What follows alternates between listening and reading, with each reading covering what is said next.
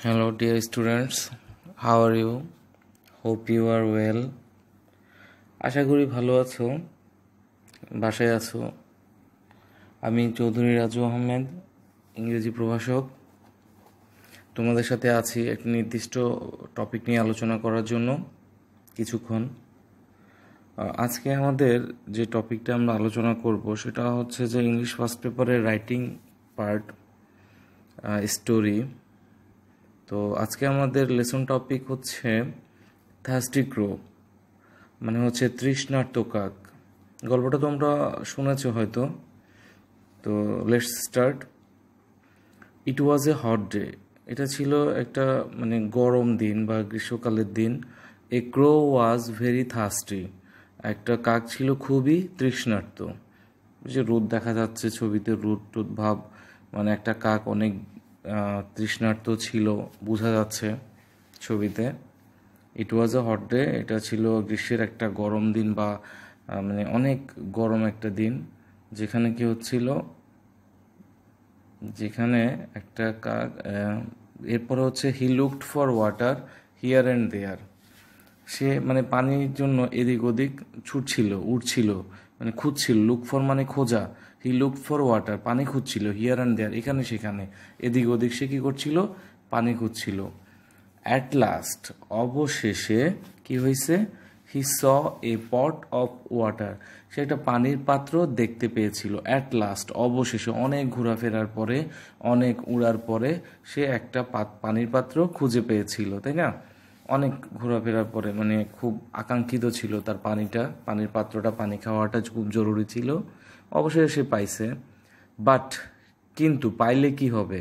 There was very little water in the pot ওই পাত্রটাতে খুবই কম পরিমাণ পানি ছিল। লিটল বলতে একেবারে নাই বললেই চলে। খুবই কম, একদম তলানিতে ছিল পানিগুলা।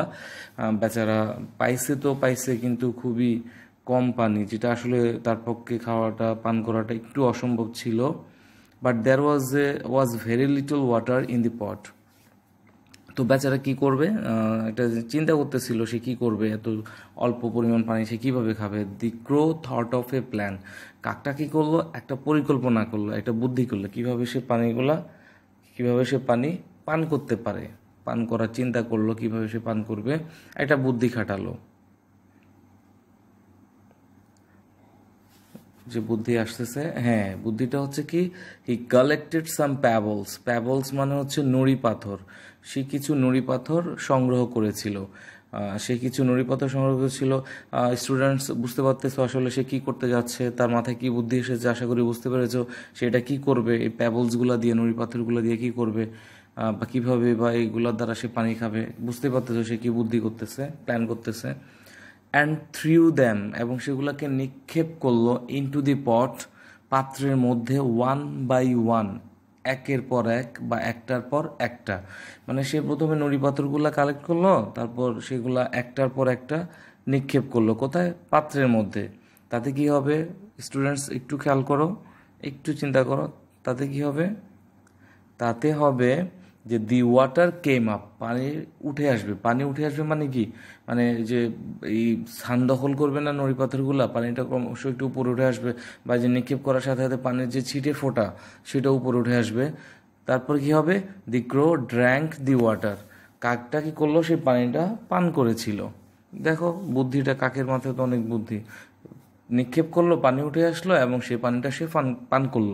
অ্যান্ড ফ্লিউ এ ওয়ে এবং উড়ে চলে গেল ফিলিং ভেরি হ্যাপি খুব ভালো বা খুব খুশি অনুভব করে খুশি হয়ে মানে পানি পান করতে পারছে তো, তৃষ্ণা মিশছে তো, তাহলে সে খুব অবশ্যই সুখী, খুশি সে, অবশ্যই অনেক খুশি। খুশি মনে সে কী করল? উড়ে চলে গেল। আসলে পুরো ব্যাপারটা হচ্ছে কি, এটা একটা স্টোরি তোমরা ইচ্ছা করলে আরও কয়েক লাইন এখানে বাড়াতে পারো, যদি ইচ্ছা করো। তো আসলে আমরা এই গল্পটা যে পড়লাম, এখানে একটা মোরাল আছে, নৈতিকতা আছে, নৈতিক বিষয় আছে, নীতিকথা আছে, শেখার বিষয় আছে। সেটা হচ্ছে where there is a will যদি তোমার একটা ইচ্ছা থাকে দেয়ার ইজ এ ওয়ে সেই ইচ্ছা পূরণের একটা পথও থাকবে, তবে তোমার ইচ্ছা থাকতে হবে। তারপরে সেই পথটা অটোমেটিক চলে আসবে। সো ডিয়ার স্টুডেন্টস হোমওয়ার্ক হচ্ছে, তোমরা এই এই থাস্টিক্রোটা এই যে গল্পটা ভালোভাবে পড়বা, শিখবা, লিখবা, এবং পারলে দু একটা লাইন আরও অ্যাড করবা। তো আজকে ডিয়ার স্টুডেন্টস এই পর্যন্তই। তোমাদের থেকে বিদায় নিতে হচ্ছে। পরবর্তী ভিডিও লেসন ভিডিও ক্লাস দেখার আমন্ত্রণ জানাচ্ছি। সেই পর্যন্ত সবাই মনোযোগী হয়ে, মনোযোগী থাকবা পড়াশোনায়, মনোযোগী থাকবা, পড়তে বসবা রেগুলার পড়াশোনা করবা। তোমাদের সেশন কিন্তু ফার্স্ট ইয়ার আলিমের কথা বলছি অলরেডি শুরু হয়ে গেছে আর সেকেন্ড ইয়ার আলিমের শেষ। তো ভালো থাকবে, স্বাস্থ্যবিধি মেনে চলবে মাস্ক পরিধান করবে। আল্লাহ হাফিজ।